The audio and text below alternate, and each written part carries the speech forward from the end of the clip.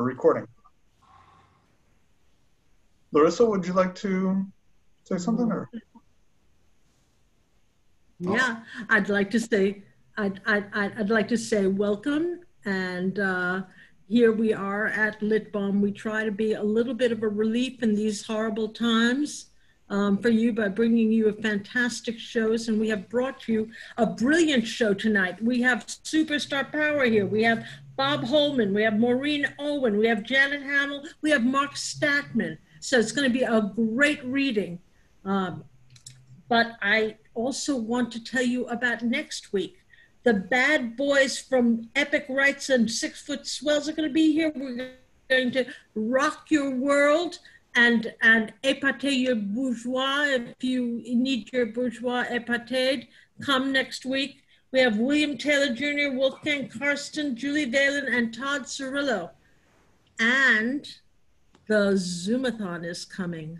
The Zoomathon is coming. The Lit Balm Zoomathon Democratic fundraiser for the the win in November 3rd. We are raising money for the Democrats with a superstar gala of poets. And on October 10th, we have our special guest host, Tara Campbell. We have Andrei Codrescu, Erica Jong, Joanna Fuhrman, who's in the house today. Hello, Joanna. Allison Hedge Coke, Wednesday, Wendy Carlisle, a vid from Charles Bernstein, Christopher Gonzalez. Oh, there's so many people and it's a three week event. So we're doing it October 17th. We're doing it October 23rd. We have Carolyn Forche coming. We have Martin Espada coming. We have um, Nick Hakim. We have Hugo Burnham from the Gang of Four. We, we have so many people I can't even tell you. But I just I, I just wanted to tell you, October 10, October 17, October 24. Be here. It's going to be fantastic. We have a cavalcade of poetic genius coming to see you.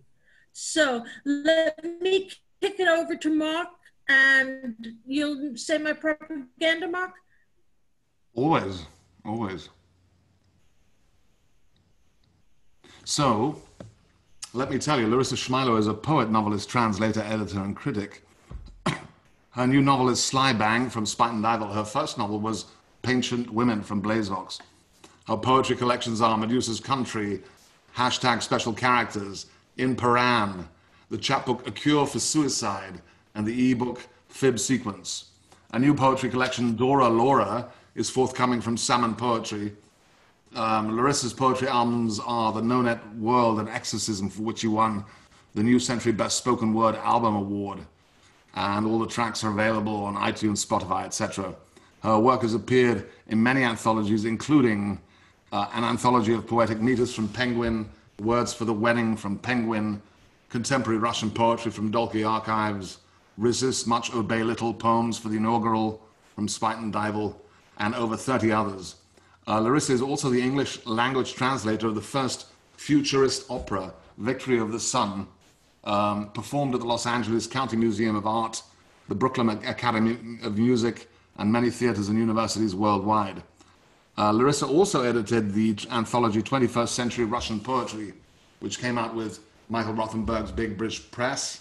And she's been a translator on the Russian Bible for the Eugene A. Nida Institute, for the Biblical Scholarship of the American Bible Society. Um, Larissa's mission in life is to help mentally ill people through writing. Um, please contact her. Please see more about her at www.larissa, two S's, Shmailo, S-H-M-A-I-L-O dot com. Welcome, Larissa. All right, thank you, my friend Mark. I appreciate it. My internet connection is unstable, but I try to be stable myself. So I, I will read you a translation of Joseph Brodsky. It's a poem I tried to translate and couldn't. So it wound up in eight versions of mistranslation. This is New Life 2. Imagine that the war is over, that peace has reigned, that you can look at your face in the mirror again, that magpies, not bombs, whistle down upon your head, that outside the city homes are not destroyed, instead, a baroque burst of laurels, palms, magnolia, pine, instead of red gunfire, a white hot Venus shines, that war's cast iron swamp is gone, and then the boredom is over. Life has to start again. Imagine that all of this is true. Imagine that you speak of yourself, speaking of others, now that you can seek the irrelevant, the unneeded, the luxuries, the toys. Life begins anew exactly thus, with noise, with erupting volcanoes and such catastrophes, a sloop lost below, friends lost beneath the seas. Look straight at the tragedies with the feelings these engender that you alone can see them with the tender feeling that any minute now you'll turn you will turn away to home to the safe moment to ask it to stay imagine that the epoch ends in an idyll the words that came in monologues are rain dialogues now and the flame that consumed others better than you greedily like logs that in you, it saw little use or warmth, and like the dogs, that's why you were spared. Why shrapnel cut only your fear. Imagine the more honest the voice, the less it has tears. And when any Polyphemus asks you who it is that speaks, say, Who me? No one, like Odysseus, the Greek. Thank you. Okay. It's now my pleasure to introduce, it's now my pleasure to introduce my brilliant co-host and the technical wizard behind keeping us all safe here tonight, Jonathan, my, my brilliant friend, Jonathan Penton. In 1998, Jonathan Penton founded, founded Unlikely Stories Org, which has been running as a continuously updated web magazine since. Unlikely Stories spawned a daughter company, Unlikely Books, which publishes three to five poet management assistants to a number of literary and artistic ventures such as the New Orleans Poetry Festival, Mad Hat, and Big Bridge. He has organized literary performances in Alabama, Arkansas, California, Chihuahua, Colorado, Florida, Georgia, Illinois, Louisiana, Massachusetts, New Mexico, New York, North Carolina, Ohio, Texas, and Washington State and DC, mind you. Um, his poetry books are Last Chap from Virgin Press, Blood and Salsa and Painting Rust from Unlikely Books, Prosthetic Gods from New Sins Press, Wing City Chapbooks, Standards of Sedity which I loved, Litfest Press, and the free e-chapbook, which you can download from Argotist eBooks. You can download backstories free from Argotist eBooks. Take it away, dear Jonathan. Thank you, Larissa.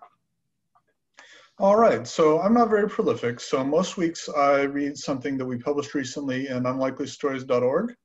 Um, this week I'll be, I'll be reading a poem by Kevin Gallagher uh, it's, the, it's a poem for Philonise Floyd by Kevin Gallagher. They murdered your brother in broad daylight. He begged for help and cried out, I can't breathe. We're tired of seeing black people dying and the murderers not doing any time for a crime that everyone can see. They murdered your brother in broad daylight. They took a life and now they deserve life. They can't be able to walk away free we're tired of seeing black people dying and then listen to murderers trying to claim it was your fault, not the police. They murdered your brother in broad daylight. They ground his neck on camera until he died as bystanders filmed, watched, begged, and pleaded. We're tired of seeing black people dying. You don't have any rights unless you're white. It's time for all of us to take a knee. They murdered your brother in broad daylight. I'm sick and tired of seeing black people die.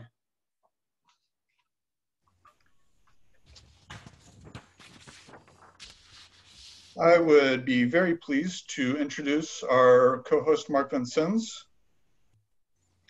Marc Vincenz is an Anglo-Swiss poet, a fiction writer, translator, editor, publisher, designer, multi-genre artist, and musician. He has published 14 books of poetry, including more recently Becoming the Sound of Bees, Leaning into the Infinite, The Syndicate of Water and Light, and Here Comes the Night Dust.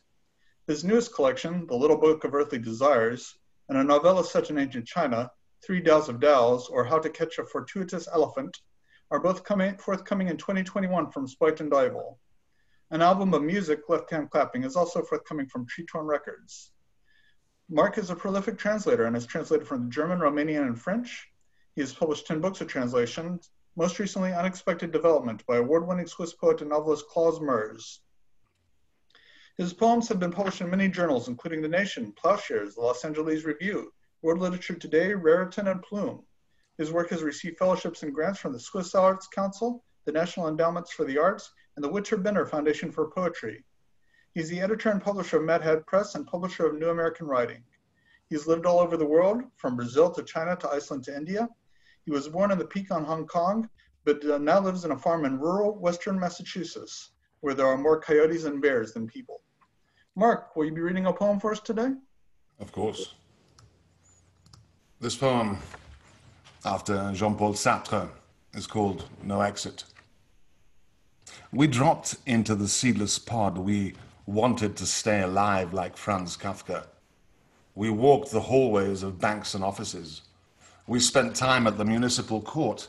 We courted, doted, and kowtowed. We ran a dog food factory. We collected stamps. We labored over love. We struck out. We laid it on thick. We turned in our early graves. We seeded. We followed the sweet, watery noise. We agreed without consequence. We flowed and we flushed. we turned up. We snuffed them out. We moved into questionable districts. We were fed up. We won in court. We lost everything and anything at all. We founded dynasties. We compartmentalized. We survived again and again. We rationalized. We found our frown, collected mushrooms, woodworms, ran out of juice.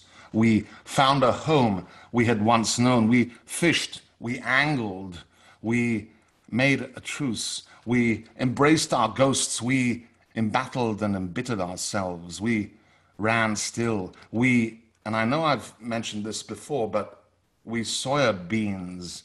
We uh, bound into servitude. We born and bred. We in our own company. We who are running from. We when the light wind rises. We shifting streams. We fish or pheasant. We from the first dawn. We on a little planet on the rim of a tiny galaxy. We bigger than ourselves. We immortals. We taken at our voice, our behest, or our Stockholm syndrome. We who cannot reach from the darkening shore. We who need a paddle or a puddle, who smell of rain, who are leaves suddenly upward moving, who are dry, furry, or blind, who are chasing a cat who have a fear of strong winds, who are at ends with heaven's light, who grow and stretch in all directions deep into the woods, who laugh and don't say, You too? The fire in the eye, the sad tale constructed from the firmament and the fragments, the he cried like a sneeze wolf, the letters we've written, the word, always the word, something that took the whole afternoon. And mind you, mind your place, mind whose noses twitch, who open forever, who are the sound of trees, who are the salt flood, or just a steady wind. Stand by.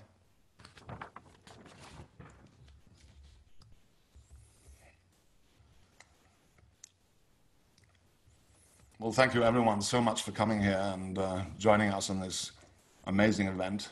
Um, and we're going to start um, the bill tonight with Mark Statman, who's uh, chiming in from Oaxaca, uh, Mexico. Mark has written 10 books.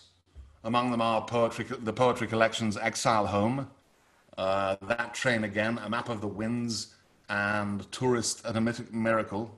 His translations include Never Made in America selected poetry of Martin Barea Mattos, uh, which came out with Lavender Ink, and Black Tulips selected poems of Jose Maria Hinojosa uh, from the University of New Orleans Press, and with Pablo Medina, a translation of Federico Garcia Lorca's Poet in New York from Grove. Um, Mark's poetry and essays and translations have appeared in many anthologies um, as well as publications such as New American Writing, Tin House, uh, Tupelo Quarterly, Hanging Loose, Ping Pong, uh, and many others. Uh, he's a recipient of awards from the NEA and the National Writers Project. He's an emeritus professor of literary studies at Eugene Lang College of Liberal Arts, the New School. And as said, he now lives in San Pedro Ixtlacua, Islahuaca. Ixtlahuaca, and Oaxaca de Juarez. Welcome, Mark. Thanks so much for joining us. Thank you. Um, thank you, everyone, for being here. Thank you to um, to John and to Larissa and Mark. Um, I'm really excited about reading with Janet and Maureen and, and Bob. Um, I'm going to read um, a bunch of poems from my most recent book of poems, Exile Home, from Lavender Ink. It came out last year. And I'll close with a slightly long poem from my next book of poems, which is coming out next year, um, called Hechizo, I think. Yes. Um, and um, and Exile Home is a, um, a collection that uh, kind of charts the time from when Catherine Koch and, and Jesse, our son, um, who goes by the stage, his stage name is Cannonball, um, Statman, um, we moved to Oaxaca in 2016 from, from our beloved Brooklyn. And, um, and so Exile Home traces that, that journey, and, um, which is a very happy journey. And then the, the final poem I'll read, Hechizo from the next book, sort of is the other side of that journey. So it's, you know, there's the happy side and then there's the other side. So um, Exile Home is divided into five parts, and I'm just going to read a couple of poems from each of the sections of Exile Home. And um, so Exile Home. Part one is called El Adios de Siempre, Brooklyn. Breaking in, Last night it's dreaming Brooklyn, our old house of things left behind we needed to throw away, needed to destroy of ourselves.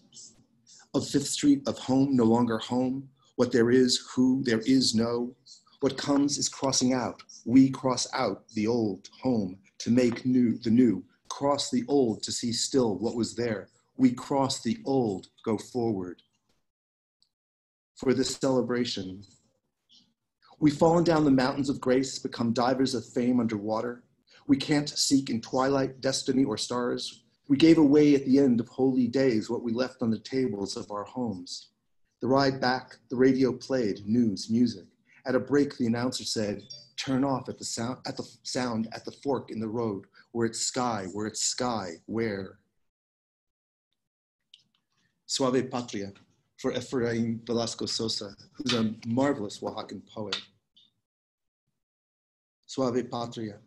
No man is an island, no woman, no child, is river, is cloud, is mountain, is ocean, uncontained, unwept, untouched all are, by sound and cruelty, by love and poetry, the kind of love held in one's arms, the kind of cruelty that comes with the territory of hope, with threat, desire. The poem makes proposals for the world take, hold, watch. When ice breaks in spring, what if there is no spring? No renewal, no rain. What, where there is no ice? A blessing was the morning moon, the midday sun, the march of over and blood far away. We don't have to hear and smell it. What we know, we know by word of mouth, from ear to ear. We learn the cold has come and the snows have come. The trees have broken from their weight from ice. We have longed to be far away, and now, like that, the days. Part two of Exile Home is called The Middle of a Different Story, Oaxaca. Fair to say. Living in two languages creates a third, like living in two houses, or like the way I'm in love with the presence of love. So here, so many years, is a singular love, though, like the sky, like the earth, unchanging and unchanging, with all the lived in rooms and all the words. The twist of fate. The air is full with ribbons the colors of Mexico and not the USA, and I don't mind. I'm in the middle of a different story, one where the ribbons come down, the star- stars come down, the story full of blessings. We are the blessed, this air full of songs of red, white, green in ribbons.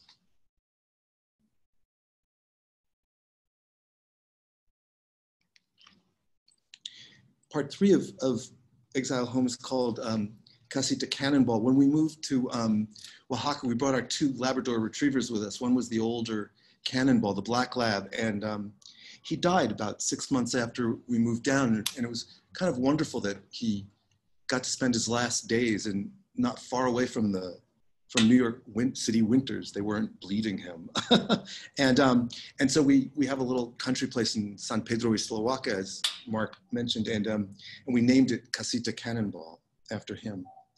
Vivo bien. These dry season cicada, their song of desire, whistling piercing. It's a month of long lovemaking and urgency in trees, waving grasses. And those black and yellow birds fly with cicadas in their beaks, sus picos.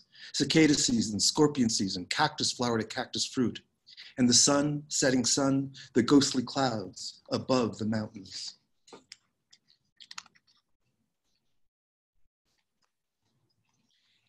Ages of innocence.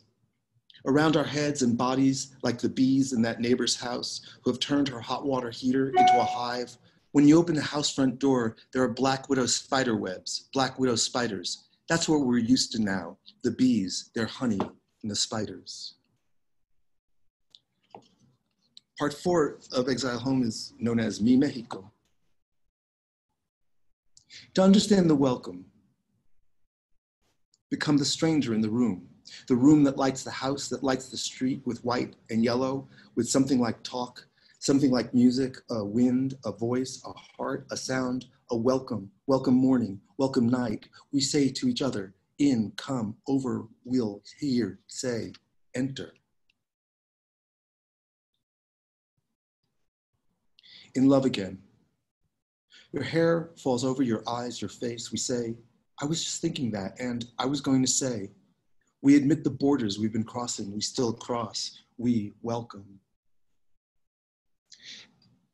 living in, moving, having moved here permanently, Catherine and I are permanent residents. It's been very strange. We've come back to the US a couple of different times um, to give readings and to see friends. And so, it's, and it's very odd um, in this poem, A Return. Which was it, being in Brooklyn or in Oaxaca? Which was homecoming? Which was home? Lingo. Someone asked, now that you live in Mexico, do you ever write in Spanish? A veces, supongo sí. Sometimes I suppose yes. La gente. Se muere que muere, pero tú sigas siendo lo mismo, said an older man to a friend even older. They were online at a food stand at Llano Park. The people die, they die, but you keep on the same. He might have said, the sky today, or those trees. All the unseen, changing, written glass in water, clouds. you should have seen.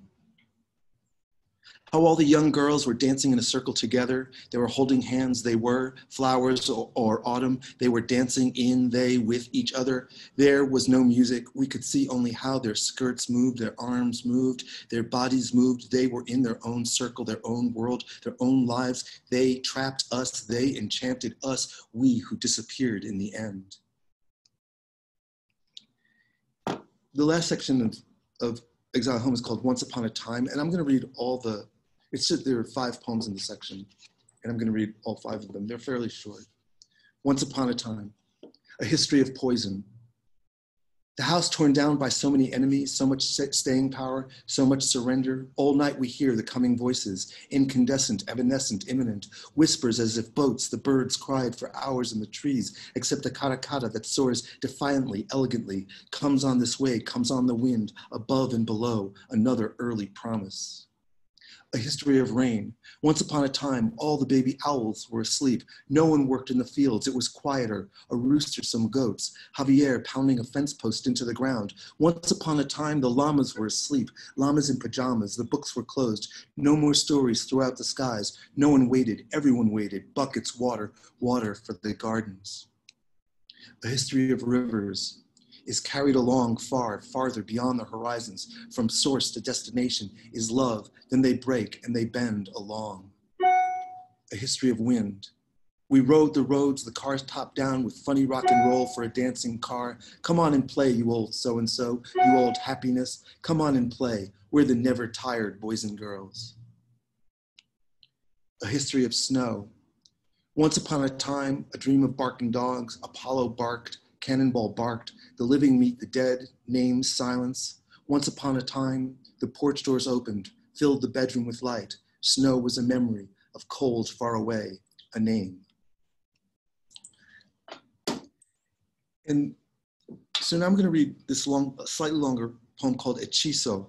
Um, and I'm really grateful for this kind of Zoom reading to be reading to so many people. So I see Greg Masters is here. I, I just, I'm looking at all the names. Um, there, four of my cousins are here, um, which makes me very happy. And, and in this poem, their dad appears. So Linda and Gary and Ricky and Cindy, pay attention.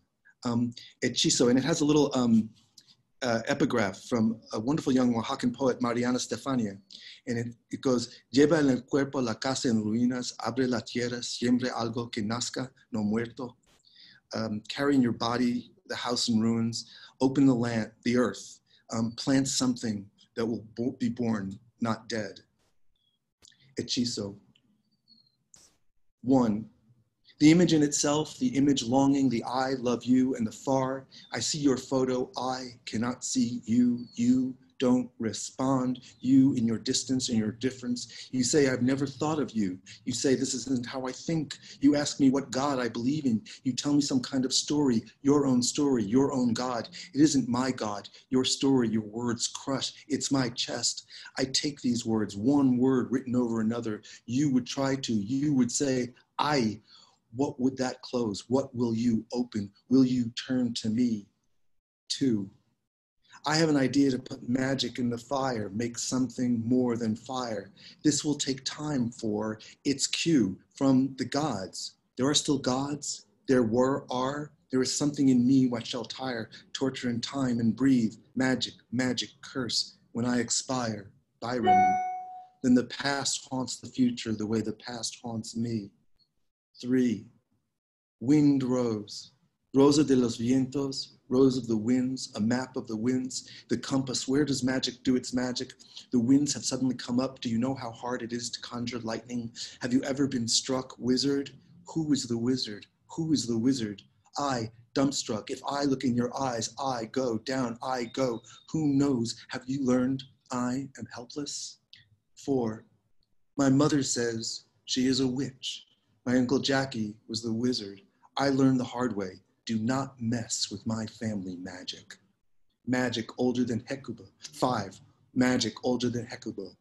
Older than that witch, that priest, that older tree. It's a pochote tree. It divides earth from sky, those older branches, that older river. We are at the river. We are at the river, older and older and older. The fire, far gone. The world, the ancient. What is the word I want to use to say before there was language, before there was breath, before there was chaos, and before there was the day or the night, you would walk around words of careless inequality. Have you heard the story of the wise man? He was an old wise man. He was our wisest wise man. He sold himself out to some magic. It wasn't temptation. It wasn't greed. It wasn't desire. He thought it is an art form. It is an art form. I can become the fallen in love. I can rescue the fallen in love. He was fallen into the wisdom of no. And six, your word is an ancient word. Your youth is an ancient world. Your God is not, is not mine, but mine is older. Mine will not refuse your God a thing. Thank you. Thank you, Mark. Thank you, thank you, thank you for thank you for ringing in from Oaxaca. Um, everyone, everyone can hear me fine. Okay, good. There was a slight echo at one stage, but um, seems gone now. So next, next we have Maureen Owen. Uh, Maureen is former editor in chief uh, of Telephone Magazine and Telephone Books. She's the author of Erosion's Pull from Coffee House Press, a finalist for the Colorado Book Award and the Balcones Poetry Prize. Her title, American Rush, Selected Poems, was a finalist for the LA Times Book Prize and her work, A.E. Amelia Earhart, was a recipient of the prestigious Before Columbus American Book Award. She has taught at Naropa University, both on campus and in the low residency, uh, in, and in the summer program, and edited Naropa's online zine, uh, Not Enough Night, through 19 issues. Her newest title, Edges of Water, is available from Chax Press, uh, Charles Alexander's, um, and she's most recently had work in Posit, Positive Magnets, Hurricane Review and Blazing Stadium. and she can be found reading her work on the Penn Sound website. Thank you so much for joining us, Maureen. Really appreciate it. Thank you very much. it's uh, this is my first Zoom reading, so goes.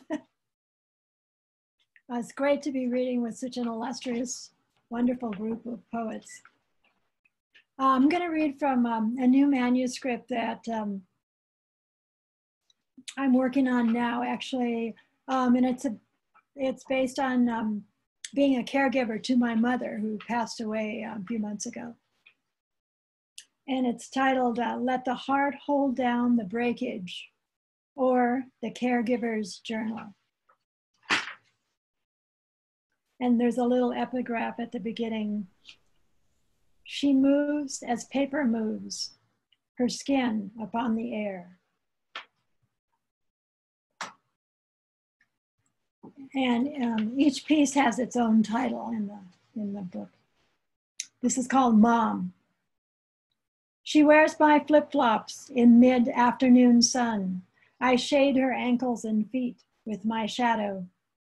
The pines nap too, still and drowsy in their altitude, as a baby breathes, soft and scarcely. It hurts my neck, but I can't stop staring up at them their glassy needle tops bristle, rolling, heaving, sea above.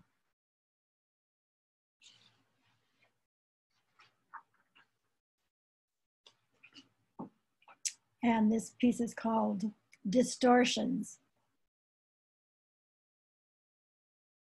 It's um, for Lady Gaga and Cindy Sherman. Vast white ruffles of cloud bustling, dense, whipped froth, rich fuzz of tawny and slipping green, banks as though herds of seals sprawled, soft and sloping hills, dyeing her long black hair black. I dyed my mother's hair. I was nine or 10, and we were too poor for her to frequent a salon. My mother had beautiful long black Irish hair but she had gone white suddenly in her late 20s. I would pin my own fuzzy reddish hair back from my face, don big Playtex yellow gloves, and put on an apron. My mother would mix the magical Lady Clairol formula that smelled of hydrogen peroxide, put the same black splattered blue towel over her shoulders, and hand me the bulbous the bulbous squeeze bottle and her comb. We'd set up in the bathroom, fashioning a bright commercial aluminum capped hanging bulb. I had a special washcloth to wipe off quickly any black splotches I squirted on her forehead or ear tips or on my own arms. I would part a section of her hair, lay a careful line of the black dye to the roots of the part then comb it in and up and down the long strands. After we'd let, we'd let it set in for an instructed length of time. Then with me still wearing the oversized gloves and she still in her blue towel, we'd go to the larger kitchen sink and I would kneel on a chair and give her a sudsy shampoo and rinse out all the extra dye. Bending over her shoulders and neck, I could see the black strands flow apart and the white of her scalp emerge in tiny winding rivers.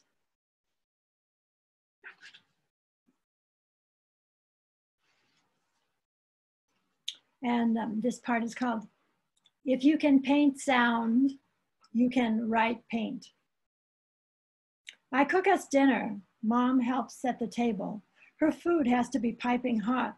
I heat her plate in the microwave, spoon veggies steaming from a pan on the stove, chicken dish straight from the oven. We come to our meal, but after a few bites, is this supposed to be cold? She raises. No, I'll warm it in the microwave.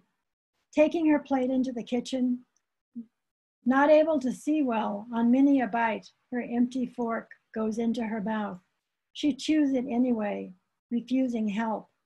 Eating becomes a long, slow process. Again and again, food's too cold. I reheat and reheat her dinner. Fresh water with ice, served dessert, dinner finished. Found San Francisco 49ers baseball game on TV for her. I'm back in kitchen, cleaning up, doing dishes. She's hollering now.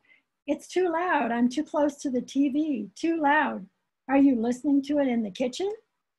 No, I can't hear it in the kitchen. I adjust the TV sound.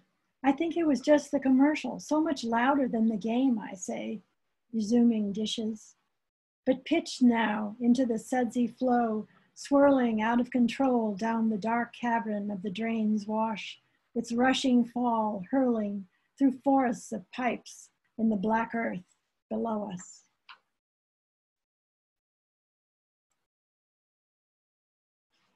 Um, some of my titles are um, a bit long, so this is the title. She could put on her left ear hearing aid, but not her right, and sometimes she could not put on her left either. This is the poem. Back then, she would swing me up behind the saddle of the smoky Mustang, go full gallop up the cow pasture till the very end fencing, my skinny arms wound around her waist for dear life, bounced and flown, my sides pitching and aching.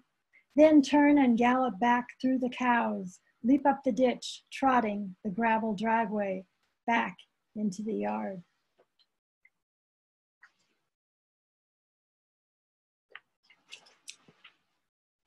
And this is another kind of long title. I would become the black sheep of the family, obliquely included. When I sneeze, she jolts and flutters. Why are you sneezing? What makes you sneeze? Everyone sneezes once in a while, I say. You sneeze all day, my mother charges. No, I don't. I rarely sneeze. Oh, she snaps. You sneeze all the time. A reoccurrence whenever I do sneeze or cough so that I become self conscious about sneezing or clearing my throat. I contort to prevent my sneezes. I begin to count them. Am I sneezing too often? This has never occurred to me before.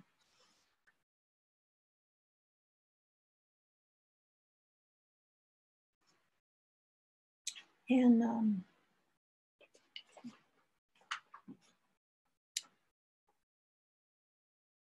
this piece was done for um, for an art exhibition that got canceled because of the virus, but hopefully will appear in New York at some point. Perfection isn't stable. As though ascending in an elevator, enormous white of Kleenex floating cubes, rectangles of it, kitchen counters, bedside table, trays, bureaus, dresser tops, her pockets airily stuffed of blouse and pants, jackets, PJs, coats, and vests.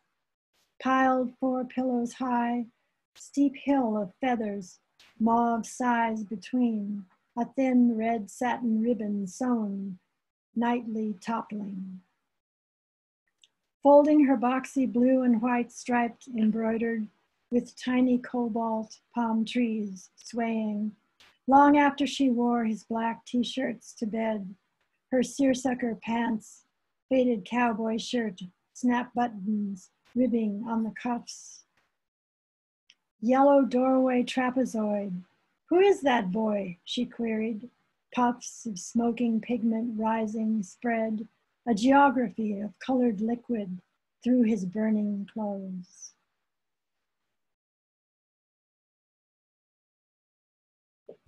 This is quite a long title. I imagine she was not my grandmother's daughter, but conceived bone immaculate out of the Minnesota prairie, born on horseback. 3.50 a.m., Bergman's hour of the wolf, hall light in my eyes, a squeaky rasp. My back is killing me, it's so itchy. Can you rub my back? Put some cream on. Rub my shoulders, the bottoms of my feet, my arms. Rub my thumb. My thumb is so itchy. Do I have a pulse? Her small, frail skeleton wisps, syllables and bits, crystallized cold dawn. I'm sorry I had to wake you. It's all right.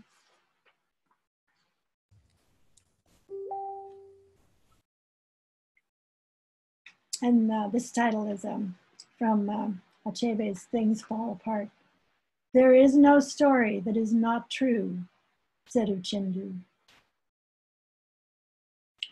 Who are these people? she asks.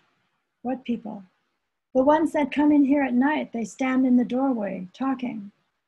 Mm, you must be dreaming them. No, no, they're real people. They sleep in here. Some of them sleep on the floor. Do you recognize any of them? No, I don't know them. One is a tall man. He stays in the doorway talking. The women are older with gray hair. I thought I heard you talking to them. No, I haven't seen them. One came in with you last night. With me? Yes, he was behind you.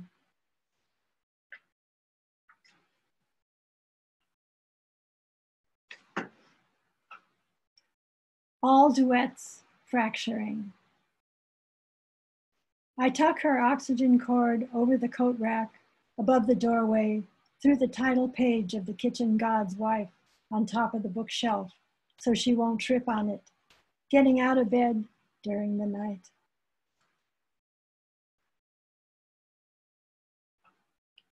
Airplane crash near the doll's head. To feel the length of her body again, as I lifting when she bent, her bending. No compass needing on sidewalks. We don't have nowhere to go. Scarlet witches. Did I have a father? No, nobody there. We just walk, handfuls of ditch lilies, clouds thin as stitches, Who's Mariposa tulip, neon hedgehog cactus? Chiaroscuro cold case, spits warm water, hair barbered in a boy's cut. She wore her brother's hand-me-downs of flesh where once these toothpick arms buried a face in a horse's mane. I am her secrets now. Fling two windows wide to a vast crystal dark, to the butterfly nebula 3,800 light years away. Jets and gas bubbles peel off its stars, stellar winds slam its nebula. Her chaos. I'm a mess, why can't I get better? Chapstick, rose, rosary, face cream, pillow pile, ice water, toothpick, Tums, bedside science stories. Once upon a time, there was a rainforest near the bottom of the world. And the last one. Are we going home now? I need to get out of here. Let's go. She fired me the first night I insisted she wear the adult diaper to bed. No, she finaled. I insisted. I want someone else who works here, she said. That's it. Thank you. Don't we always want someone else? thank, thank you, Maureen. Thank you. And next up, we have um, Janet Hamill, who's the author of eight collections of poetry and short fiction. Her work has been nominated for Pushcart Prizes and the Poetry Society of America's William Carlos Williams Prize. Her uh, Tales from the Eternal Cafe was named one of the best books of 2014 by Publishers Weekly. Um, Janet is a strong proponent of the spoken word. She has performed at the Poetry Project at St. Mark's Church, the Walt Whitman Cultural Center, the Bowery Poetry Club, the Knitting Factory, CBGB's Gallery, where I perform once as a, as a musician myself, uh, the Nuyorican Cafe, Central Park, Summer Stage, and many more. Uh, also including, you know, in Ireland, in London, at the um, Smith's, Patti Smith's Meltdown Festival, and Liverpool's Heartbeat series. She was one of the first poets contracted to Mouth Almighty Records, and she released two CDs of spoken word music in collaboration with the uh, bands Movie Star and Lost Ceilings, Flying Nowhere, and Genie of the Alphabet, two albums. A documentary about the about uh, the creative process of Janet Hamill and Lost Ceilings, directed by Brian Hamill, a bearing witness, is viewable on YouTube. Uh, Janet has been a writer in residence at Naropa University, a teaching assistant at New College, and an instructor at Cabrillo College. She has lectured and taught workshops at the Poetry Project, the College of Poetry, the Seligman Center, the Goshen Library, as well as many clubs and galleries in London and Liverpool. After residing in New York City for three decades, Janet recently moved to New York's Hudson Valley, where she founded and directs the teaching and reading series Megaphone. Thank you for joining us, Janet. Can you hear me? Absolutely. Oh, excellent. Okay. Hi, thank you for having me and having me in such wonderful company and being joined by such wonderful people. It's really an honor. I'm reading really in support of my selected poems, which have just come out from Spuyten Duyvil. And I think, I think with that book, um, I'm going to move on to prose. Uh, I'll try to read uh, something from each of the books. Uh, there's, it's a collection of seven different books of poetry, but uh, I don't want to uh, go over my time. So I'll try to read as much of it as I can. I don't know if I can do something from all seven books. This is from uh, the first book, Troublante, and it's The Lonesome Death of H. Crane. The dawn was revealing himself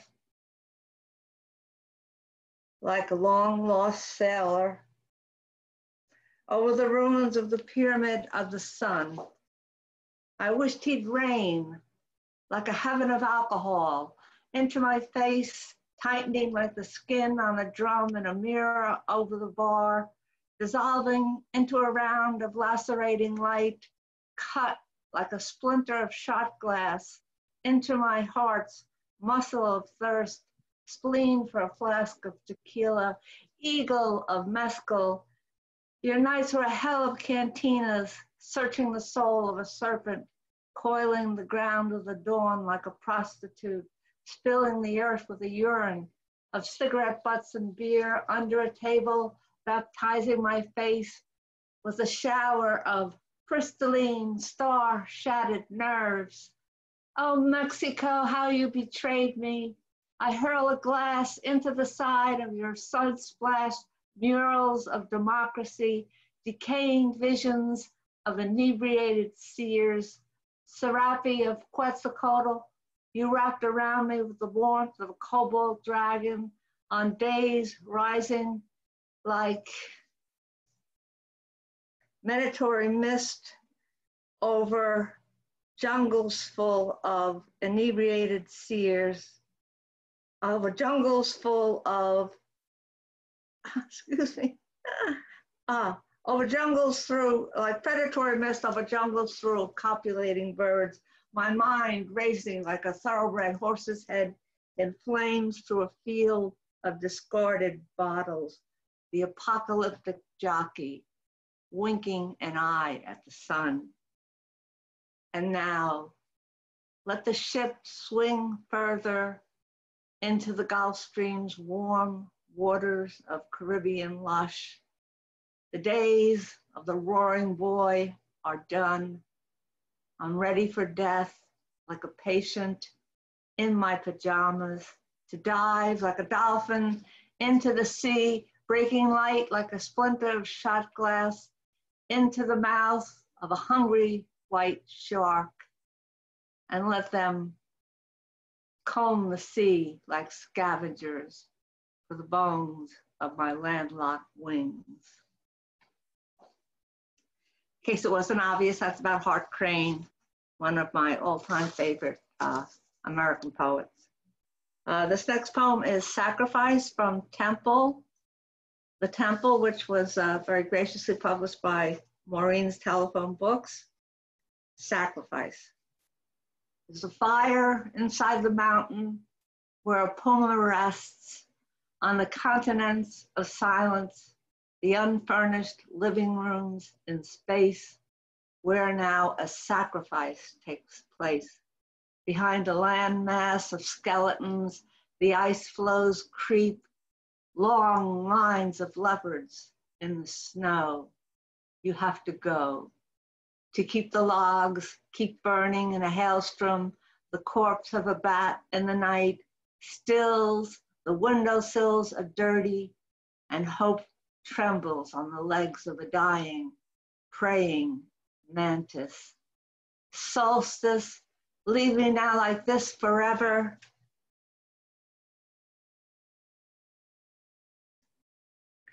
The eyes pleading, leave me now like this forever. The soft white flesh of a Spanish heart in my hands, a neck, a tender neck thrown back into submission, a face full of resignation, the eyes pleading, close me now like this forever. Shut the light, release the seas, the endless ocean voyages of melancholy. Ions flare in the fire, the bookshelves rise like a tower of the arcane world. You cling in a silk cocoon of a yellow sheet, like a wing of Baal's angels, the ancients. Press on your skull like a tumor, the manuscripts curl in a flame. And I light a light in the darkness, the cigarettes drop to the floor, and they reappear, long lines of leopards in the snow. It's time to go into a courtyard, into an unfurnished living room and space to make your grace beneath the jaws of a generous lion, teeth capped down to the bone, a layer of platinum, morphine, erotic waves of criminal water.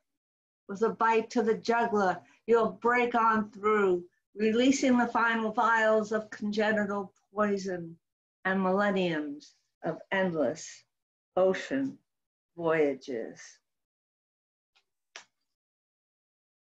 Okay, this next one is from Nostalgia of the Infinite. Uh, this, I guess, I guess you would call this a, an ekphrasis poem. Uh, there was an exhibit in uh, at the Museum of Modern Art in the 80s, the early 80s of De Chirico. And I had never seen that much of his work at one time. And I, I just flipped out. I just went crazy. I couldn't believe how great he was. And uh, I was already very much into surrealism at that time and found out that he had been a great influence on surrealism. In fact, the titles of all of his paintings were named by Breton. So this is a poem from that series, from Nostalgia of the Infinite, called The Sphinx at Sea, the real title of which is The Seer. That's Breton's title. Seen from a distance, your bare shoulders under the lamplight. Oops. Excuse me. Seen from a distance, your bare shoulders under the lamplight. Oh, I, I just missed it. Ah, I'm sorry, excuse me. Seen from a distance, your bare shoulders under the lamplight, nocturnal, moon-dusted mountains of snow sequestered in eternity. Behind your eyes, the wind blows over the ocean, stirring the surface of the water as you board your gold seraphic boat with thoughts beginning and beginning again, recumbent, rock carved, reading pages of Greek philosophy, the small pine island of the gods appears, a raw and brilliant emerald in its matrix. So crowned, the sea takes you away in her long, gloved arms. In her blue gloved arms, she takes you far from the keening chorus on the beach, beating time on harps and drums while the rain drives in their faces. Uh, this next one is from Lost Ceilings. When we first moved up here in the 90s, uh, I missed New York so much. It was just an ache, like a physical ache. And fortunately, I'm not that far from the city, so I could still get down on the train pretty frequently. But uh, I just missed it so much. Not even the people so much. One of the reasons I, I moved, or we moved, was because so many friends had, had moved out of the city. So it was actually the buildings in some ways that I was aching for. And um, so this is a little, this book, Lost Ceilings, is from Lost Ceilings, which is a tribute to uh, New York City, my love, my love poem to New York City. This is called White Evening. I snow in the city. Just I just always loved so much. This is about snow in the city. Now exquisite quiet lulls the buildings in the weight of snow falling in front of windows on the avenue. A frozen desolation kindles my eyes. The frozen course, tender correspondence of the stars. Above the snow and the snow below, bowing to kiss the city's hardened breast. Her lurid flesh as white as a supplicating Magdalene's beneath the street lamp. Nothing the season, the evening, and the drifts effacing time spent with my monotonous soliloquy. Going home to wine's internal summer, eternal summer, burning in the absence of prayerful rites, like a candle in the cavity of an ice sculpture. Okay, this next one is A Thousand Years from Body of Water, which was published by Bowery Books. Thank you, Bob. It's called A Thousand Years. I wrote it uh, to mark the change of the millennium. But then when I was thinking abstractly, the any day can be the beginning of a new millennium. So it seems to be, it seems to work for any time. How goes the night? How goes the watch as midnight approaches and the storm waves of the sky? The moon beats an old fist on her old yellow drum. A thousand years have passed away. A thousand years are yet to come. How goes the night? How goes the watch? A lone sailboat makes its way through trolling towers sounded by the motion of the sea. A thousand years fill the hold with dust and desire. A thousand years of naked wings to set free. Fragile, the wilderness, the skeleton bells ring for eternally turn. Another March breeze blowing across the planet another life with new idols and the same concerns. How goes the night? How goes the watch? Floodwaters swallow enfeebled horses fallen from the cracks in the dome. A thousand years of races in the funeral beds, a thousand years of fits and starts before we're home. How goes the night? How goes the watch? In the end, there's a full single sail, propelled by its own will. A thousand years bring a pale beacon with the coming dawn. A thousand years of moving forward and standing still. Fragile the wilderness, the skeleton bells ring for eternal return.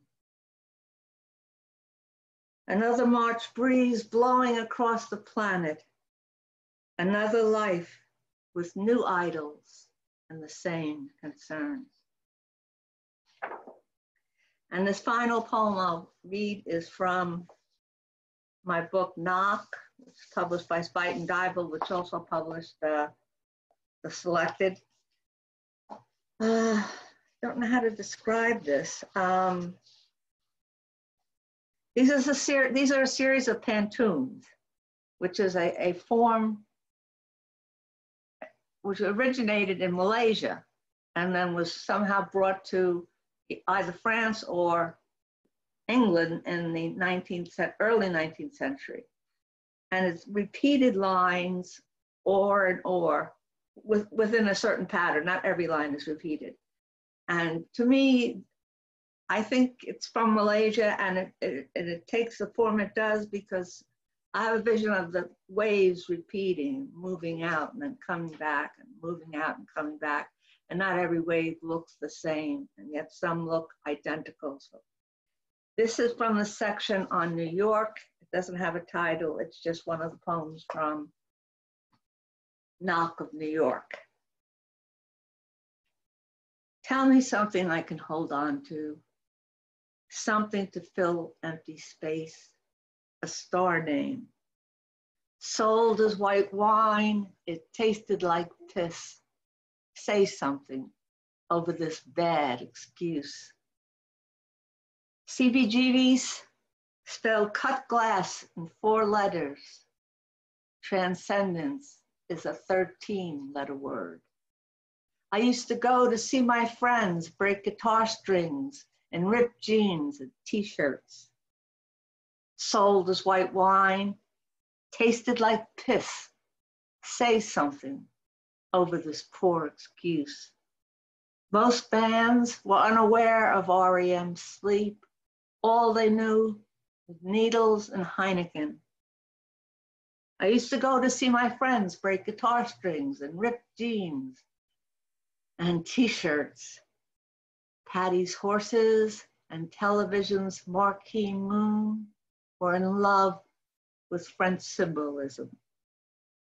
Most bands were unaware of REM's sleep. All they knew were needles and Heineken.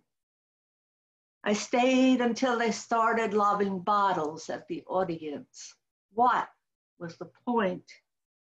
Patti's horses and television's marquee moon were in love with French symbolism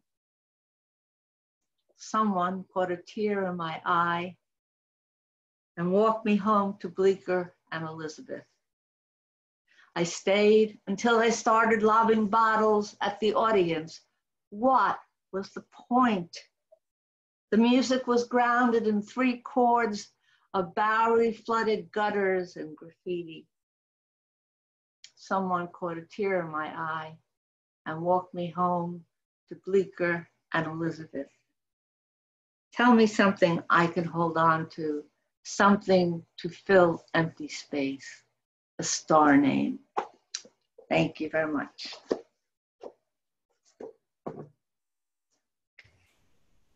Thank you so much, Janet. Thank you. Do you have a star name for us? Excuse me? Do you have a star name for us? Ah, let me see. Corpius, or the dog star, or um, Corpius sounds good.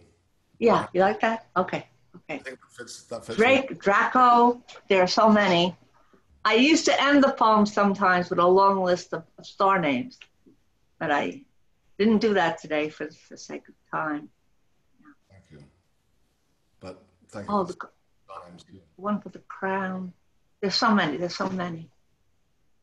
Anyway, Bob, Bob's coming up next. Excellent. Uh, Bob, Bob Holman is the founder of the Bowery Poetry Club and the author of 17 collections, uh, most recently The Unspoken, um, then the life poem, The Cutouts, Sing This One Back to Me from Coffee House. Bob has taught at Princeton, Columbia, NYU, Bard, and the New School as the original slam master and director at the Nuyorican Poets Cafe Bob was also creator of the world's first spoken word poetry record label, My, Mouth Almighty slash Mercury, and the altruistic director of the Bowery Poetry Club. Bob has played a central role in spoken word, slam, and digital poetry movements of the last several decades. All told, he's performed over 1,000 times around the globe, from Madison Square Garden, rock stadiums to church basements and Ethiopian tej bets, honey wine bars. Uh, Bob is co-founder of the Endangered Language Alliance. His study of hip hop and West African oral traditions, uh, which led to his current work with endangered languages. He's also the producer, director, and host of various films, including The United States of Poetry, On the Road with Bob, Hol- Bob Holman, his film about language loss and re- revitalization, Language Matters with Bob Holman, winner of the Berkeley Film Festival's Documentary of the Year Award and was produced by David Grubin and aired nationally on PBS. Bob has traveled for the film and led workshops at language revitalization centers across Alaska, and Hawaii, sponsored by the Ford Foundation. His short film, Khonsay, Poem of Many Tongues, has lines of poetry in 50 languages and premiered at the Margaret Mead Film Festival. In 2018, Bob was awarded the Chambra d'Oc Premio Ostana Award for his work in language revitalization. His roots are in Harlan, Kentucky, and he currently lives in the Bowery or on the Bowery in New York City. Thanks so much for joining us, Bob. My pleasure. Thank you all for being here, for sticking around. Can you hear me okay? Absolutely. Okay, beautiful. You know, just th- these are four, I mean, the other, they're friends. We're all friends, and it's so great to see, uh, to hear everybody here.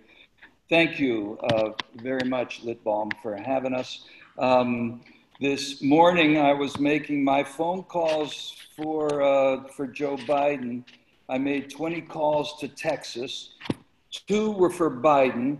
Uh, two of the, the, respondents were from for Biden. Two for Trump. And uh, one of them was a robo answering machine. Have you ever got one? I couldn't believe it. You know, robo calls that you get, but there are actually answering machines that will keep you on the line. Oh, I've got another stack of papers to look at. But when finally she said, There's a pizza guy at the door, I realized I wasn't talking to anybody. Um, and the other phone calls were, of course, hangups, which is what we'd all do anyway. But just to say, let's activate and get something done here. Um, so great to have Marjorie Tesser in the audience, who is the founder of Bowery Books that uh, published uh, Janet's uh, wonderful body of water, and also the two books that I have just coming out and from which I am going to read. Here I go to read. First from Life Poem, which was written um, 50 years ago. So if you can imagine me at 19, um, I'll just read the beginning and the end. Desperate now, I've started to write everything that comes into my head. I just lay it out right here, as if the lined paper had become some sort of giant garbage disposal, accepting and grinding everything I can throw out. If this were a giant baseball game, this paper would be Willie Say Hey May's great center fielder, making deliciously slow basket catches of every ball hit by every batter in either league. Have you discovered yet that this is not a book? Stop, go back, reread. Here, you forgot these, the eyes. They plop down here. Put them in the right way, or else watch the inside of your mind. Poems cough, metaphors hide, do parables describe or disguise. If I wrote in rhymes, would you read easier? If I didn't write at all, would you breathe easier? Do the words get in the way? Have you discovered yet that this is not a book? Poetry is a stance. Accept it and see. If you close your eyes, see the dancing spots, you're creating art. Open them to the world, you created life. This life poem jogs along on the tip of your eyelash. Your witness.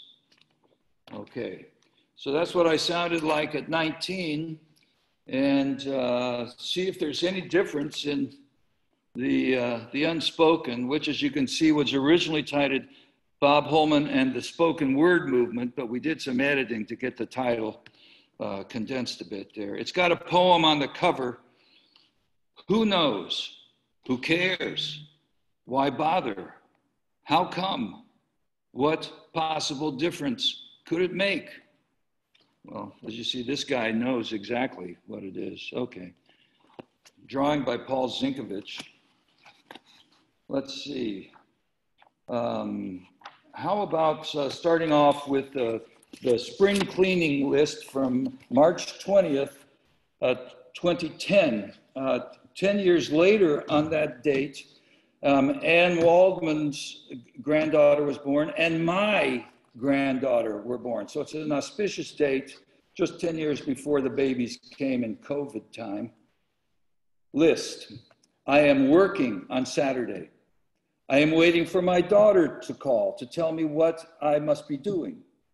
I'm fielding complaints about an organization that I founded, a service organization in a field, spoken word, where there are painfully few resources and from which I wish to just dive off the fucking stage and disappear without bitterness, neither. I'm dealing with the window through which some drunk tossed a rock last night, a thermal window on the girls' club side of the Bowery Poetry Club. I'm prepping for two classes at Columbia this week because they messed up on the website. I'm way behind on the Welsh, but I'm mending ulir, the didgeridoo. I've decided to postpone the ayahuasca because I can't stand to have my psychedelic experiences confined, confined to a timeline. I'm chairing a panel on Fei Chang at NYU on Wednesday. I'm finally reading at the 92nd Street Y next Saturday and Sunday. Typically, it's through the dance department, a duet with Melissa Finley, not the poetry department. I'm prepping to spend three weeks in Canada in April, reading and performing. I'm having fun with my daughter in town and wish my other daughter were here too. I'm thinking about the gas heart and think Dagny should set a date for it in LA and get some crazy cast together like James Gandolfini and Sapphire and Claire Danes, who are all performing at the Bowery Arts and Science Hollywood Does Poetry benefit on May 2nd. I'm thinking about your transcendent and down home earth brand of telepathy. How sweet it is in a blister. Thank you. Thank you, Bob. That was fantastic. Great. Oh, I'm getting feedback. That must mean my time is about over. Um, this is a real shorty. It's called uh, Every Word. And I would urge you to memorize this. Every word in a poem is a poem. That's it. I'll do it again. No, I won't. You know it. Every word in a poem is a poem. Um, do I have time to read one more? Absolutely. Go. It's epic. no, it is longer. okay, but it's for Pablo Neruda. So, Poema de Alabanza para Pablo Neruda. And uh, going all the way out to Mexico. Uh, oi. Oh, sing, poet or not, your voice croaking with wonder. Where the magic at? You were not born. Elvate, the seer, your eyes distinguish the domain of poetry stretched like garters around the thickest thighs, pedaling away in the great make love on a bicycle race, all the way to the end of the poem, where revolution lifts and sings the pure blood of sunset, the tragic rush of night by night, the neon terror of moonlight. Only you can see by it. O Vate, O seer, O Neruda, all praise your pistol of words, La Pistola. Oh, Neruda, here we are where the body is spice, salt, and sweat. Why, one day the road itself started walking, and luckily Pablo was there. Stop, road, he cried. How can I go about my business if you won't stay still? And the road answered, and Neruda got it all down. And that is his poem about artichokes five I love yous, and socks, don't forget, because the way the sea wave broke over his eyebrow became his ode to Whitman and left the critics strangled. And if only Madonna and Julia Roberts would read my poems, the exhausted ghost of Neruda was heard muttering out there in a heap, inventing God. Whose hurricane? Yours, maestro. Whose abyss? Yours. Do you remember the time you said you were bored of it, bored of being a man? We were on our way over to the Bowery Poetry Club and we dropped by the tailors you like so much over on Essex Street. Your pants weren't ready. That was an explosion right there. And then we walked past the barber shop and you got a whiff and it was like all hell broke loose. Could we have a little vacation from things, please? You roared no more boulders, no shirts or gardens, insane asylums, merch or contact lenses, elevators. I was writing all this down furiously. It was a poem, I said to the passerby, all of whom were either frightened or pretending that nothing was going on. This is New York, after all, you bellowed. An elephant calf on Broadway, transformed from human skin into the beast that uses its nose for a ladle. Oh, grab me, you informed my destiny, and swing aboard. Your damn praise poem isn't worth one lash of my eye, one corpuscle from my bleeding tongue. Give me a full woman, you continued. Now you're just trumpeting. And I know the mosquitoes that were buzzing around your ear were in love with your protein saturated blood. What does it mean, a poem of praise for a poet whose universe is a poem of praise? Okay, this here is a vial of poison then, crimson lime and foamy, a, a, a wind whipped umbrella poking out cat's eyes, and God's toothpick, and of course, the old reliable belly button, el ombligo, not my own, un poco de problema. No hay problema. Problema aquí. Yo tengo uno. Más de uno. De hecho, un puñado de ellos. Mi vida es un enorme problema hecho de un millón de pequeños problemas. Ayúdame, problema aquí, ahora mismo. No es problema encontrar problema. Ven aquí, los sacamos del saco. Problemas, problemas, problemas. ¿Cómo te atreves a decirme que no hay problemas? ¿Bromeas? Problemas, problemas, problemas, no problem over here. Come on, I got them. I got them by a bag full. My life is actually one big problem made out of a gazillion tiny ones. Okay, come over. It's no problem to find the problem. Here you got them. Problems. You, how dare you tell me? No problem. Are you kidding? Problem, problem, problem. But meanwhile, there's no meanwhile the lush mannerisms of the palm world, the relentless wings of the sea call back the melting earth. As we take the poet's hand, as he grabs the pen, together we swing the curves to loops and dots to crossings as the poem emerges. Praise the poem dancing into being.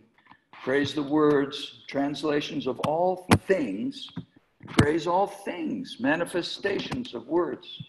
Praise Pablo Neruda. Neruda, as the pen dives to translate the word Pablo Neruda. Thank you. Uh, let me get this one last poem, the last poem in the book. So this is it. The world is ending, and the piano is playing and the artwork is all of us on stage. Lift your voices and lift the roof and lift the sky and lift the heavens. And for Christ's sake, sing. This is it. It is. The end. It is. Gracias.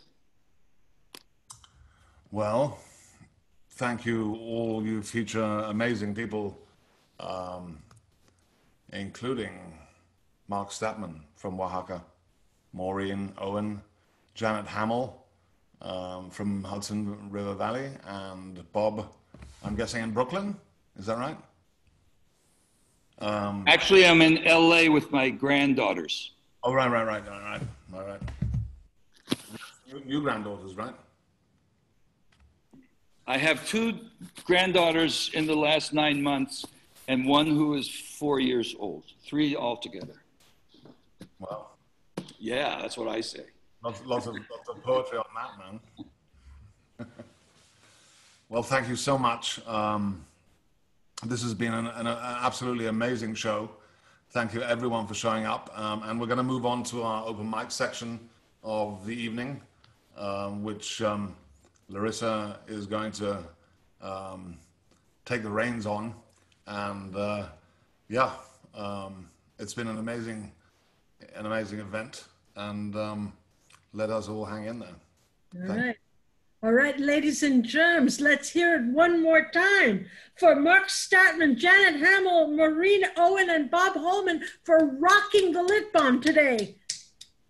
Absolutely. No problemas, no problemas here whatsoever. Brilliant, guys. That was fantastic. Once again, I adjure you to come next week when we have the bad boys and girls from Epic Rites. We have William Taylor Jr., Wolfgang Carstens, Julie Valin, and Todd Cirillo are going to rock your world.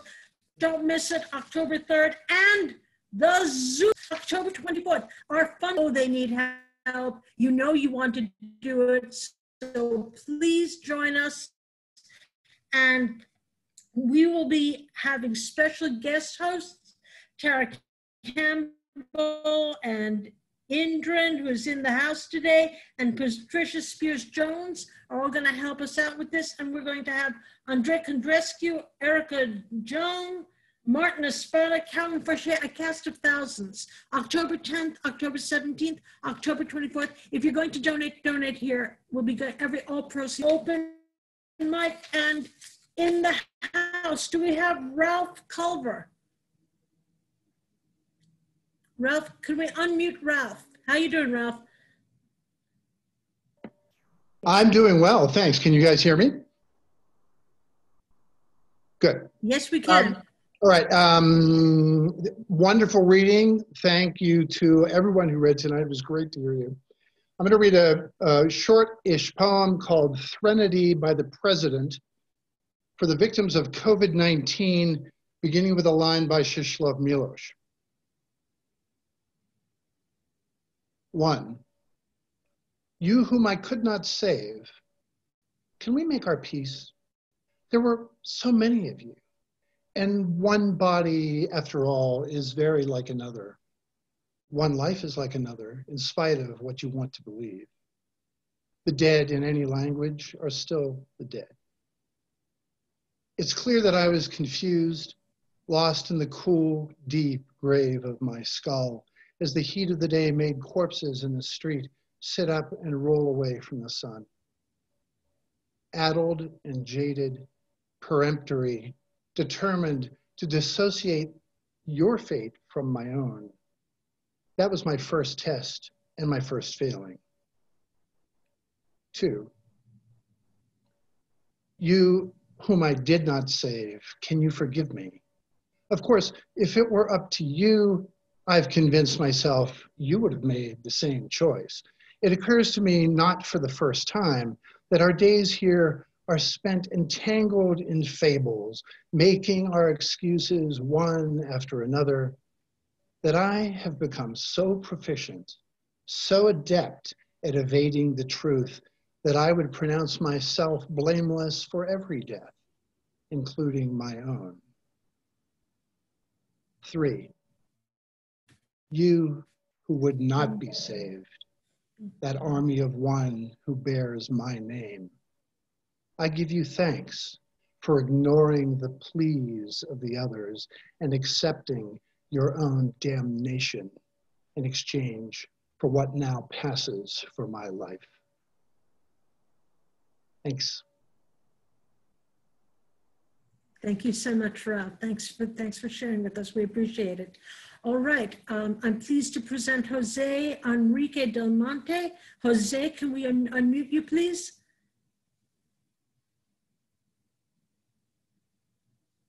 Jose Enrique Del Monte. Yeah, here. I'm here. Bienvenido, Jose. Hello, Larissa. Thank you. Thank you a lot. I will read the poem in Spanish, um, and it will translate by by by a translator in the group. My poem is Páginas dobladas. Si lo hubiéramos sabido, habríamos derruido el tiempo con las manos, sin remordimientos, apretujados los segundos, que deciden la validez de las cosas. Las escarchas habrían quedado dormidas en las páginas dobladas, como cicatriz de suspicacias, como fisura de longitudes poderosas. Es tan tenue la distancia ancha de la boca que separa la gigantez de la esencia, que allí sobresale el miedo o se percibe la mirada de los errantes conocidos. Es tan roja la esfera del pecado que nos asumimos ruido, nos convertimos en simiente, nos trasnochamos en la nada. Y aún en la duda, confundidos con la similitud de los días en que la bruma atraviesa la sombra o la sombra se asemeja al alba, debíamos destruir el tiempo si lo hubiéramos sabido, donde la nostalgia es un hilo suficiente para eternizar simplezas y guardar las páginas dobladas. Gracias. Gracias. Thank you, Jose. Uh, can we unmute Susan Dickey for the translation, please? Yes. Susan, can we unmute Susan for the translation, please? Susan Dickey. Susan. Unfolded Pages by Jose Enrique del Monte. If we had known, we would have consumed time with our hands without remorse. Squeeze the seconds that decide the validity of things. The frost would have stayed asleep in the folded pages as a scar of suspicion, as a fissure of powerful longitudes. It is so tenuous, the wide distance from the voice that separates vastness from essence, that there stands out fear, or one perceives the gaze of the unknown wanderers. This fear of sin is so red that it turns into noise. We stay up late in the nothingness.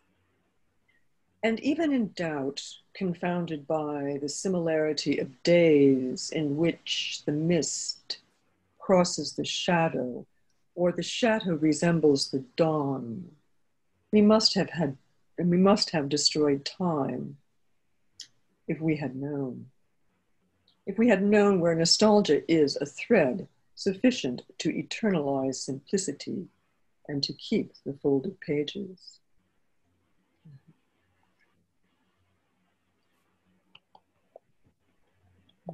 Thank you so very much. Thank you, Susan. Jose and Susan, thank you so very much. Always a pleasure. Always a pleasure. Thank you, Jose. Thank you, Susan.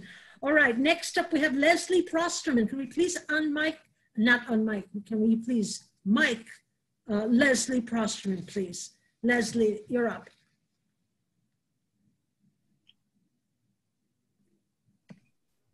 Okay, thank you very much. And it was great to hear everybody. Um, last week was the first yahrzeit, the end of the first year of mourning for Steve Dalachinsky. And a year ago at this time, I wrote this poem for him called Kaddish for Dalachinsky. Yesterday, I called your name out in the synagogue. I didn't want to. When they asked all those in mourning to please rise, I stood. I called your name out loud. I rang it through the hall into the heads of us praying in the holidays, listing the dead for a blessing. I called out your name so that everyone could hear you, so that Steve Dalachinsky was everywhere, in all the high corners, just the way you always liked it. Everyone heard you.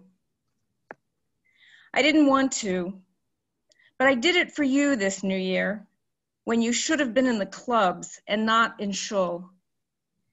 Called clear across and into the listening ears, catching your reverbs of Whitman and Allen, what's his name, that other Jewish fellow who wrote that poem Kaddish.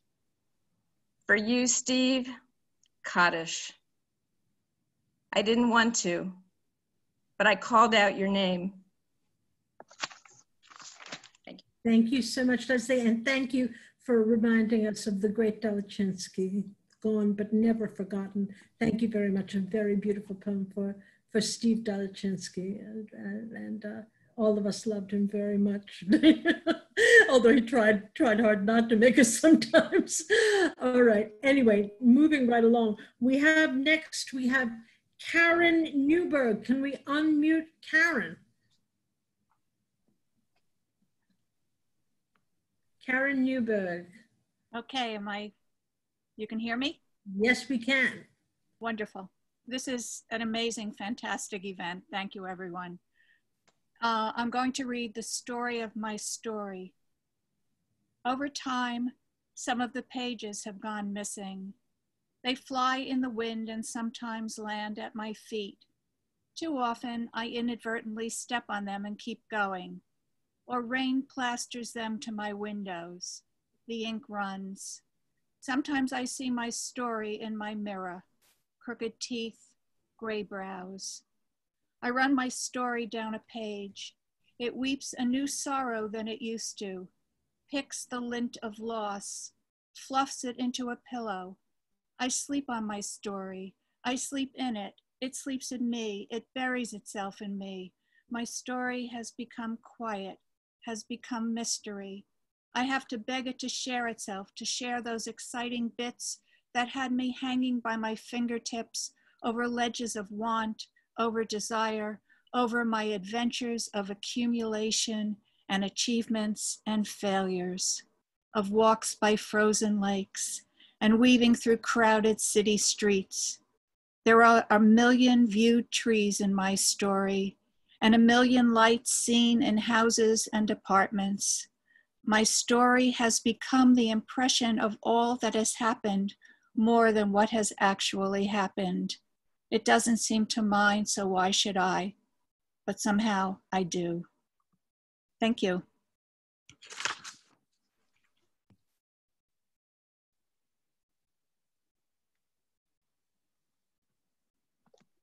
Did we lose Larissa? I think we might have lost Larissa. We may have lost Larissa. Um, is Smitha here tonight? Uh, I'm not seeing you, Smitha, under that name. Are here? If you're here under a different name, please hit us in the chat. Um, and in the meantime, let's hear from Big Mike.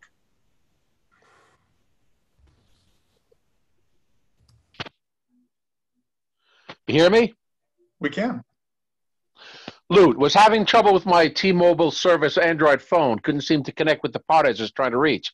Kept hitting the dialing icon on the screen. And finally, the recorded robotic message, all circuits are busy at the moment. Please try again later. Figured it was a matter of an overdue monthly bill. Technically, my service ended at midnight, so decided to head across 14th Street from Union Square Park to make a payment. Hey, how you doing, Big Mike? The sales representative knows me by name. I guess I better pay my bill before you cut off my service. I haven't been able to make a call all day. That's because it looks like there's some sort of nationwide network outage. Facebook and Twitter are out too. They say it might be some sort of cyber attack by a hostile foreign power. So, did you guys get hit that last Monday night during all the looting? Nah, nothing got taken. We got that metal shutter. It completely covers the front area of the storefront. They couldn't get in. I was still living in the Bronx during the great blackout in July of 78. The next day, the sidewalks of the Grand Concourse and Broadway in Manhattan were littered with those metal shutters, where the looters had ripped them down from the storefronts. They didn't stop nobody from looting. Now, our gate lines up flush with the sidewalk outside, so they couldn't get their hands underneath it. They didn't have a crowbar or anything to pry it up with. Goes to show you, there was obviously no planning or coordination by those looters. If Antifa or criminal gangs were really orchestrating all the looting, they would have brought along some proper burglary tools, despite what the mayor and the police commissioner claim. They were just random brands of marauders participating in crimes of opportunity. They were even using those Citibank uh, rental bikes to smash windows with. Would an organized anarchist act like that? I see they got the Foot Locker next door and the Reeboks across the street. Yeah, but they didn't take anything. They just smashed the front window and left it empty-handed. But the GameStop, they got hit three separate times on three separate days. There's absolutely nothing left to steal now. You see how they looted the Strand bookstore on Broadway and 12th? Supposedly that's where Chiara, the mayor's daughter, got arrested. I mean, what were they going to do? Run off with an unabridged set of complete works of Shakespeare? And how were they going to haul it away? You know, there's some really valuable merchandise in stock there. Yeah, first editions worth uh, hundreds, even thousands. I can just imagine the conversations the next day. What did you get? Got me a fresh set of new Air Jordans, some Chanel number five perfume, and a brand new Gucci handbag. What did you get? Well, I got me a 1926 first edition hardcover Charles Scribner's and Sons copy of The Sun Also Rises with original dust jacket, illustrated in Art Deco style, signed with a dedication from the author, Papa Ernest Hemingway himself. Gonna put it up for auction at Sotheby's next fall. That's it. Thank you. Thank you, Big Mike. Well, it seems like uh, our, our dear friend Larissa has, has disappeared off the Wi-Fi. Um, so Jonathan and I will terminate this wonderful evening. Thanks so much, everybody. Once again, it was fantastic. Um, Thank you, everybody. Thanks for coming. And thanks for tuning in from all sorts of places, from Australia to Mexico. Um, thank you so much. Um, lots of love. Hang in there. It's going to be an even longer haul than we ever thought it's going to be. Um, but with poetry, we shall survive. Thank you. Good night, everyone. Thank you.